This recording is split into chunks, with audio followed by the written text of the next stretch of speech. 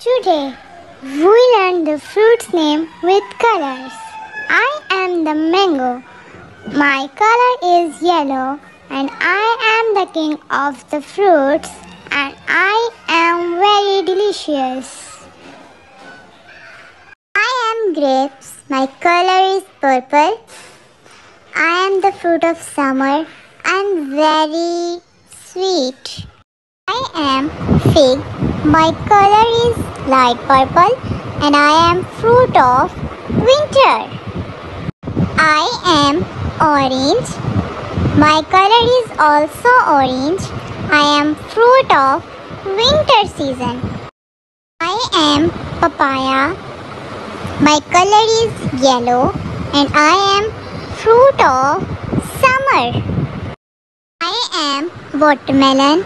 My color is green and I am fruit of summer.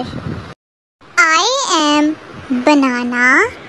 My color is yellow.